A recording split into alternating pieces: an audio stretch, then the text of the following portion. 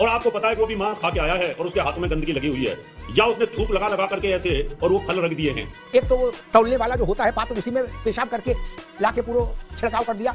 ऐसी हरकतें क्यों करो? ये थूका ताकि का क्या खेल है? क्यों नहीं बंद करते हो? ऐसे चलेगा। गजब बात है। ये आदत स्टेशन है बोले थूकेंगे। अरे अपने घर में थूको यार बाहर कैसे थूकोगे।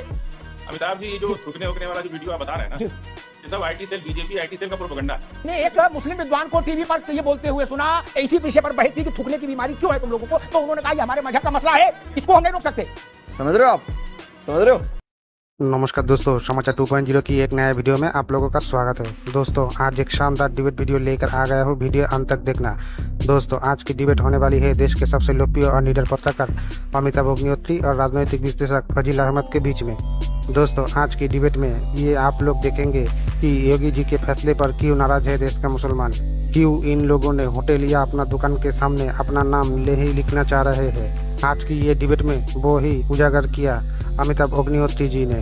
दोस्तों आज की ये शानदार और विस्फोटक डिबेट आखिर तक ज़रूर देखना। एंड डिबेट के बारे में अपना क्या राय है कमेंट में ज़रूर लिख के जाना।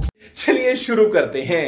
फजील भाई मैं एक बात समझना चाह रहा था कि अधिकांश लोगों ने कहा कि ये मुस्लिमों के साथ भेदभाव करने वाला निर्देश है। मैं नहीं समझ पा रहा कि जो निर्देश सबके लिए है, वो मुस्लिमों के साथ भेदभाव करने वाला कैसे हो सकता है, या किसी के साथ भेदभाव करने वाला कैसे? जो नियम सब पर लागू, या तो कुछ पर लागू हो तो बात समझ में आती है।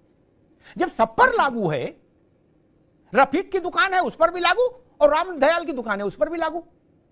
फिर ये कैसे प्रचार किया जा रहा है कि ये संविधान की हत्या है धर्मनिरपेक्षता की हत्या है और मुसलमानों के साथ जाती है? फजील साहब अमिताभ जी। जी। रिपोर्ट से पहले आप कुछ बोल रहे थे। जी। मैं बड़ी गंभीरता से उसको सुन रहा था। जी।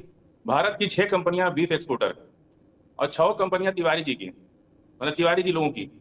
और वो नाम है Alina Al Alina frozen meat Al Kabir frozen meat ऐसे तमाम बड़े बड़े मुस्लिम नामों से वो कम वो क्यों नहीं चलती हैं तिवारी जी मीट फैक्ट्री के नाम से?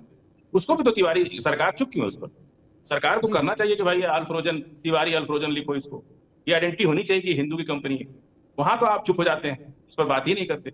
रहा सवाल सरकार के आदेश का कितना असर पड़ता है? आजकल आप फ़ील्ड में कम जाने लगे आप स्टूडियो में ज़्यादा समय देते। आप पहले जब फ़ील्ड में घूमते थे तो आप बहुत बहुत कुछ अच्छा एनालिसिस कर लेते थे। सरकार के आदेश का असर जनता पे कितना पड़ता है? आप जाके मौके पे देखिए।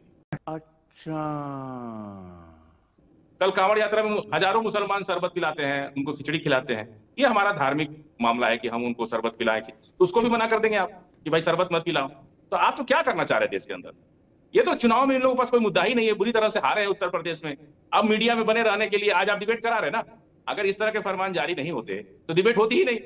लेकिन जिसको जो करना होगा वो करेगा, जिसको जो खाना है वो खाएगा ही। तमाम उत्तर प्रदेश में मीट बंद है। ठीक है फजील भाई। ठीक आते है। दोबारा आते हैं दोबारा आते हैं। उसका कारण क्या है? ठीक पैसा बढ़ जाता है बस। ठीक है दोबारा आते हैं फजील अहमद दोबारा आते हैं। मैं रावत साहब के पास चलूँगा। फिर हंगामा क्यों मचा है? जब जिसको खाना है वो खाएगा फिर काहे को तकलीफ़ है? फिर बवाल क्यों है? जब इतनी सरल बात है और अल फरीजा अल फ्रोजन जो भी नाम है उसका मुद्दा भी उठाओ भैया क्यों नहीं उठना चाहिए? बिल्कुल उठना चाहिए। उनके यहाँ भी ये लिखा होना चाहिए और एक बात फजील अहमद ने गलत कह दी तथ्यात्मक तौर पर वो दुरुस्त करना ज़रूरी है। कई बार हो जाता है जल्दबाजी में। भारत का कानून और उत्तर प्रदेश सरकार का खाद्य सुरक्षा मानक कानून ये दोनों कानून ये नहीं कहते कि दुकान का नाम क्या रखो रावत साहब? दुकान का नाम आपकी मर्ज़ी चाहे जो रखो। क्या? ये रोक कोई सरकार नहीं लगा सकती।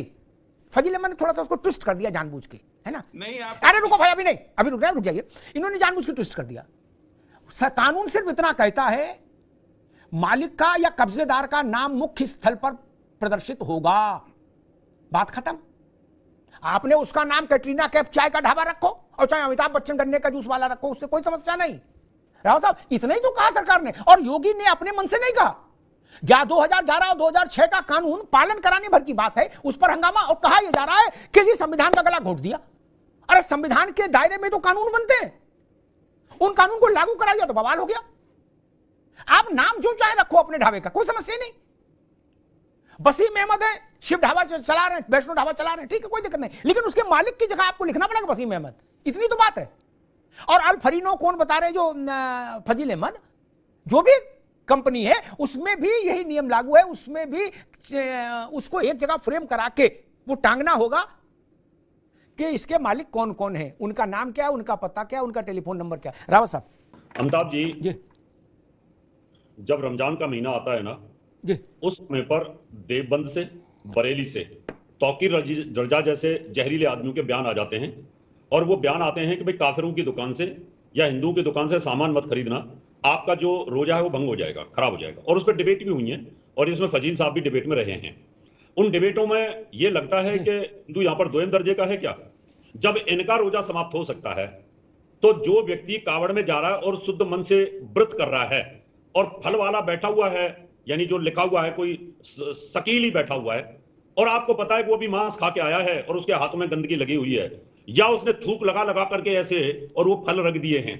जैसे कि वीडियो वायरल होते हैं आपने देखा होगा तंदूर के अंदर रोटी बन रही होती है और उन पर थू और करके उस रोटी को डाला जाता है। अभी अहमदाबाद के अंदर एक बहुत बड़ा स्टिंग ऑपरेशन हुआ और फिर सरकार ने छापा डाला वहाँ पर कि वहाँ एक मुस्लिम समोसे कचौड़ी बेचता था और उसमें उसके बाद वो बीफ मिलाता था और उसको हिंदू भी खा रहे थे पता नहीं था। लेकिन वहाँ किसी कारीगर ने जब कंप्लेंट करी कि ये बीफ मिलाता है तो वो व्यक्ति की दुकान सील हुई और फैक्ट्री सील हुई और उसको अरेस्ट कर लिया गया। जब आप इस प्रकार की बातें करोगे ऊबर पे आपका नाम लिखा हुआ है एच एस रावत। मैंने बुक कर दी और जब मैंने पेमेंट करी तो लिखा हुआ है फजील अहमद ये क्या मतलब हुआ?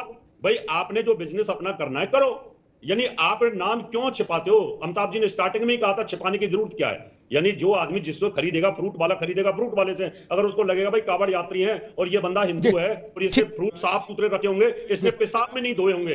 जब तुम तो नाले के पानी से अगर सब्ज़ी धो रहे हो फ्रूट धो रहे हो और उसको कावड़ रावत जी आते हैं आपके पास। मैं विजय राठी और प्रशांत पटेल जी के पास चलूँगा उससे पहले एक बात याद आ गई कि एक टीवी पर डिबेट हो रही थी ई ऐसे विषय पर। एक मौलाना साहब थे, इस्लामिक स्कॉलर। उनसे एंकर ने कहा कि भाई, ऐसे वीडियो आए हैं जिसमें कोई थूक रहा है, सब्ज़ी पर कोई कुछ कर रहा है। एक तो वो तौलने वाला जो होता है पात्र, उसी में पेशाब करके ला के पूरा छिड़काव कर दिया। तो बोले, ऐसा रोटी में थूक देते हो, ऐसा क्यों?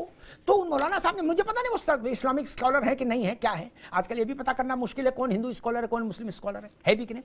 उन्होंने कहा कि भाई, ये तो हमारे मज़हब का मसला है, इसमें मत बोलो। क्या? थूकने वाला?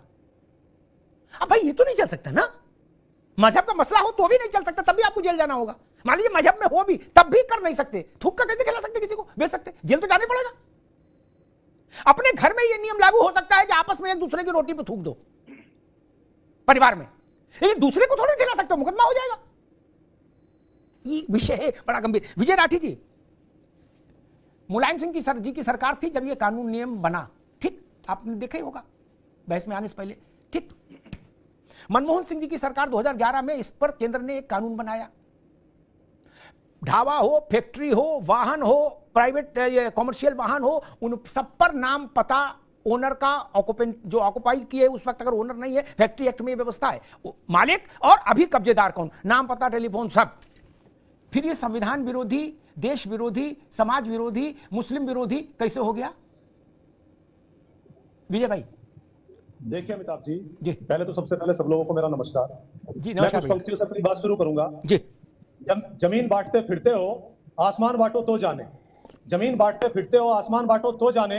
इंसान किए अलग बड़े परिंदे छाटो तो माने और जब आदम पैदा हुआ था क्या था? हिंदू या मुसलमान? मज़हब बताओ तो माने। और जब खून की ज़रूरत पड़ती है पूछते हो किस मज़हब का है? दूसरे मज़हब का खून डॉक्टर को लौटाओ तो जाने। अरे चाँद से सीखो जो ईद का भी है और करवा चौथ का भी है। काटते हो नस्ले और फसले इस बैर को काटो तो माने। जी। मैं आपसे एक चीज़ बता दू अमिताभ जी। जी। जो नियम आपने बनाया ये नियम है। लेकिन आपने ये नहीं सोचा कि ये किस परिपेक्ष में लागू किया गया? मैं मेरे परिवार से कावड़ यात्रा अब से नहीं सालों से ला रहे हैं। मैं मुजफ्फरनगर लोकसभा और सरदना विधानसभा का बासिंदा हूँ। हमारे शिविर भी लगते नहीं हैं। विजय राठी इसमें रोक कहाँ है? भाई इसमें नाम ही तो लिखना है। तो किसी को धंधा करने से रोका है क्या? इतने सालों से कावड़ यात्रा चल रही है। क्या आज तक ऐसा ज़रूरत पड़ी या विवाद हुआ? नहीं हुआ कभी। लेकिन क्योंकि समाजवादी पार्टी लोकसभा में उत्तर प्रदेश की सबसे बड़ी पार्टी बनी क्योंकि मुजफ्फरनगर से दंगाइयों को समाजवादी पार्टी के आदरणीय हरेंद्र मलिक ने हरा दिया। विधायक हार चुके वहाँ से। इनकी ज़मीन खिसक गई। योगी जी की कुर्सी का खतरा है। अब इनके सामने धर्म में बांटने से अलग कोई चारा नहीं है। इसलिए इन्होंने कार्ड खेला है। बात नाम लिखने की नहीं विजय जी। है आप टाइमिंग देखिए। नहीं नहीं विजय राठी ठीक ठीक एक मिनट एक मिनट विजय भाई एक सप्लीमेंट है। ठीक एक सप्लीमेंट एक एक मिनट एक मिनट एक मिनट को एक सप्लीमेंट्री है। ये धर्म में बांटा जा रहा है हैं जो आपने कविता भी सुनाई। मैं ये अभी तक नहीं समझ पाया तीन चश्मे बदल चुका धर्म में कैसे बांटा जा रहा है? सबको नाम लिखना है फिर दोहरा दूँ ऊँची आवाज़ में। सबको नाम लिखना है किसी को छूट नहीं है। फिर क्या तकलीफ़ है? क्यों तकलीफ़ है भाई? कांवड़ यात्रा अमिताभ जी कब से चल रही है? अरे गजब करते हो। सबको नाम लिख लिखना है, इसमें क्या तकलीफ़ है आपको? मैं यही पूछ रहा हूँ ना उसकी ज़रूरत इसी टाइम पे क्या पड़ी? उसका सीधा सीधा आप भी समझते हैं कि हम लोगों को हिंदू मेजोरिटी को ये शो करना है कि ये फलाना मुस्लिम है नैरेटिव चलाना इससे सामान नहीं खरीदना। ये चलाना है क्योंकि उत्तर प्रदेश में विजय राठी अब रुकना होगा अब रुकना होगा अब रुकना होगा अब रुकना होगा। ऐसा ठीक है विजय राठी आगे बात ऐसा आगे। तर्क की कसौटी पर ठीक है विजय भाई आगे बात मैं प्रशांत पटेल पास जा रहा हूँ। तर्क की कसौटी पर बात कमज़ोर है। अगर यह निर्देश जारी हुआ होता कि मुसलमान अपने ढाबे पे नाम लिखेंगे मैं पहला आदमी होता जो विरोध में खड़ा होता। ये अनावश्यक विवाद में मेरी रुचि नहीं रहती मैं उसके खिलाफ खड़ा होता ये निर्देश होता कि सारे मुसलमान अपना नाम पता लिखेंगे, बाकी कोई नहीं लिखेगा। मैं खिलाफ खड़ा होता। इसका समाजवादी पार्टी की लोकसभा सीटों से क्या लेने देना? नहीं विजय अभी नहीं, दोबारा में आएँगे, अभी आप सुन लो। ठीक? मुलायम सिंह के समय में कानून बना था। तब? तब वो भी परिंदे बांट रहे थे, आसमान बांट रहे थे, मुलायम सिंह भी। और मनमोहन सिंह ने भी आसमान बांटा, परिंदे बांटे, छत बांटे और क्या क्या खून बांटा। किसी बात करते हो भाई? टैक्सी और प्राइवेट बस पर भी ये नियम है कि लिखना होगा कौन है ओनर? उसका पता क्या है, उसका फ़ोन क्या है? वो भी धर्म को बांट रहे हैं, आसमान को बांट रहे हैं। अजब तमाशा है मुल्क में। ये बोलो ना, कानून बदल दिया जाए। जावेद हबीब ने का वीडियो जब वायरल हुआ था, एक गुप्ता नाम की महिला थी, पूजा गुप्ता या ऐसी कुछ नाम था उनका, उनके सिर पे थूक के उसने बाल काटे थे। वीडियो वायरल हुआ, जावेद हबीब जैसे प्रसिद्ध व्यक्ति को फिर माफ़ी मांगनी पड़ी थी कैमरे के सामने आकर। ऐसी हरकतें क्यों करो? ये थूका थाकी का क्या खेल है? क्यों नहीं बंद करते हो? ऐसे चलेगा। गजब बात है। ये अजब टस- टशन है। बोले थूकेंगे। अरे अपने घर में थूको यार बाहर कैसे थूकोगे? अमिताभ जी ये जो थूकने वूकने वाला जो वीडियो आप बता रहे हैं ना ये सब IT cell BJP IT cell का प्रोपगंडा है। नहीं नहीं जावेद हबीब वाला वीडियो ऐसे भी तो हिंदू मोहल्ले में रहते हैं। दूध से लेके और पनीर से लेकर सब्ज़ी से सब हिंदू खरीदते हैं। हम तो कभी सोचे भी नहीं कि ऐसा कुछ होता है। और मुस्लिम बस्तियों में भी जाके देख लीजिए। कौन सी जावेद हबीब माफ़ी क्यों मांगे थे? जावेद हबीब माफ़ी क्यों मांगे उनसे तो आईटी सेल वाले धमका देंगे तो बेचारे प्रोफेसर आदमी मांग लेंगे। अरे आप समझ ही नहीं पा रहे हो, ये बात गजब करते हो। अरे रुक जाओ भैया। कल बंद करा देंगे जेल में। अमिताभ जी एक चीज़ जान लीजिए ये आईटी सेल का बड़ा खेल है। समझ रहे हैं? आप आप भी समझते हैं लेकिन थोड़ा आप भी हिंदू हैं इसलिए कभी कभी उस भावना में आ जाते हैं। इसलिए बात जो है उस पर मत अरे एक मिनट एक मिनट। मैंने एक मुस्लिम विद्वान को टीवी पर ये बोलते हुए सुना इसी विषय पर बहस थी कि थूकने की बीमारी क्यों है तुम लोगों को? तो उन्होंने कहा ये हमारे मज़हब का मसला है इसको हम नहीं रोक सकते। ऐसे कैसे लोग रहते हैं यार यहाँ पर? दोस्तों वीडियो अंत तक देख ली तो अच्छी लगी होगी। अगर अच्छी लगी तो वीडियो को एक लाइक एंड चैनल को सब्सक्राइब कर लेना। एंड वीडियो के बारे में अपना क्या राय है कमेंट में ज़रूर लिख के जाना। वीडियो अंत तक देखने के लिए आपको बहुत बहुत धन्यवाद। चलिए मिलते हैं अगली वीडियो में, तब तक के लिए जय हिंद, जय भारत, जय श्री राम।